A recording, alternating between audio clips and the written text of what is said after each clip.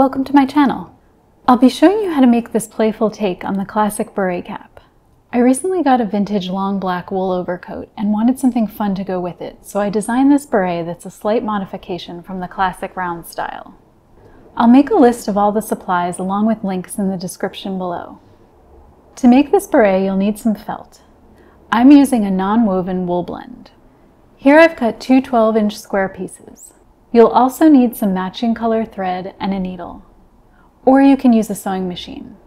A pair of scissors, pins, a measuring tape, bias tape.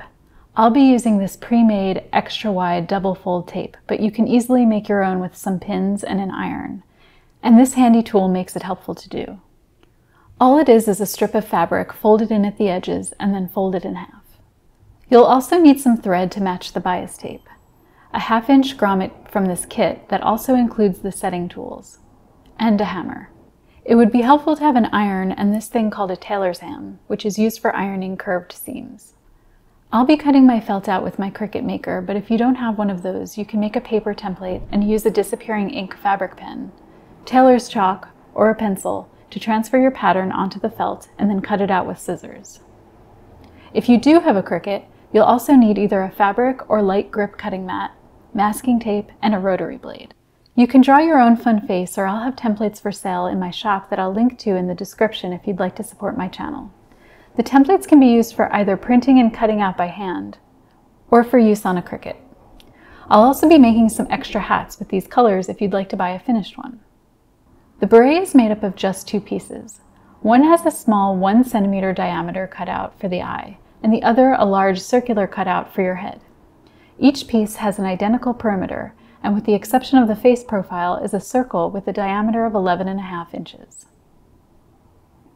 Because the felt is a thick fabric and I want to have tight curves which make up the nose and mouth, I'm going to leave a very narrow seam allowance of just an eighth of an inch all the way around. So when it's turned right side out, there isn't too much of a bunch up inside of the small curves.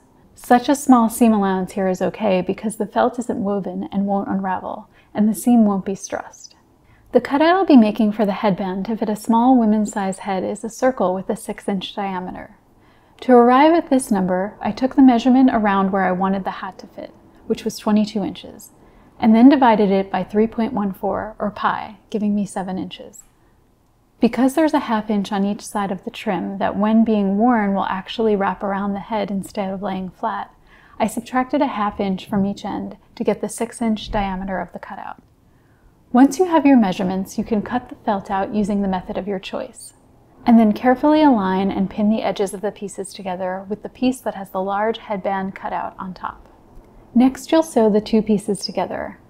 I enjoy sewing by hand, and that's what I'll be doing since this is such a small project, but it can also be done by machine if you're comfortable sewing curves with a small seam allowance.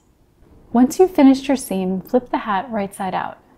Carefully poke the nose and lips out using your finger or a small tool like a capped pen. You can smooth out your work by ironing along the seam using the curved surface of the tailor's ham to press on.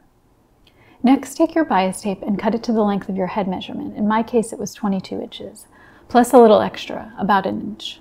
Fold one end over towards the flaps, about a quarter of an inch or so, and press it with an iron.